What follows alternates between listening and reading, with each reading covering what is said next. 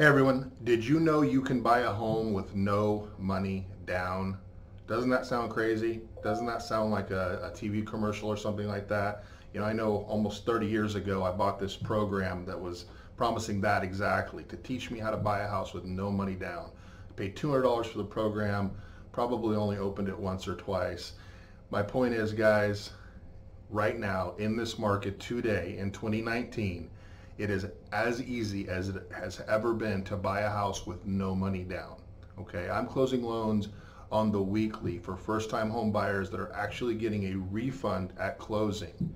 I promise you, this is not pie in the sky stuff. This isn't for, you know, some people in certain circumstances only. This is for the, the, the majority of first-time home buyers. There are programs where you can buy a house with absolutely no money out of pocket right now in this market. The time is now.